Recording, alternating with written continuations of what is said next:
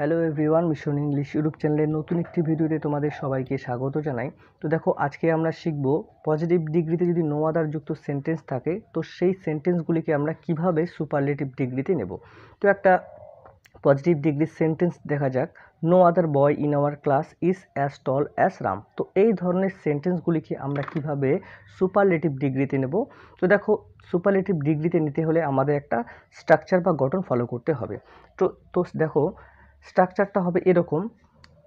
শেষের সাবজেক্ট, তারপর ভার্ব বসাতে হবে সাবজেক্ট অনুযায়ী এবং টেন্স অনুযায়ী, তারপর আমাদের দা বসাতে হবে, তারপর এসডি অর্থাৎ অ্যাডজেক্টিভের সুপারলেটিভ ফর্মটা বসাতে হবে, তারপর কি বলছে দেখো নো আদার এবং ভার্বের মাঝের অংশ।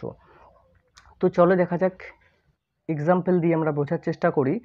দেখো কি বলছে no other boy in our classes as tall as Ram তো এটাকে যদি আমরা সুপারলেটিভ ডিগ্রিতে নেই এই স্ট্রাকচার বা গঠন অনুযায়ী, তো আমাদের কি হবে দেখো? প্রথমে কি বলছে?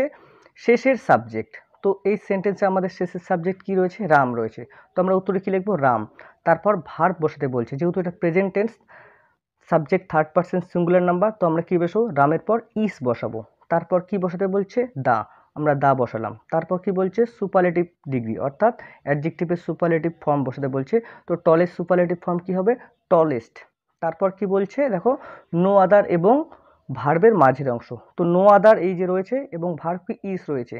তো মাঝের অংশ কী রয়েছে? বয় ইন আওয়ার ক্লাস তো আমরা কি লিখব? বয় ইন আওয়ার ক্লাস তো দেখো এবার উত্তরটি কী হলো? Ram is the tallest boy in our class তো দ্বিতীয় এক্সাম্পলটা দেখি। No other river in India is as long as the Ganga তো আমরা কি করব? সেই শেষের সাবজেক্ট নেব প্রথমে।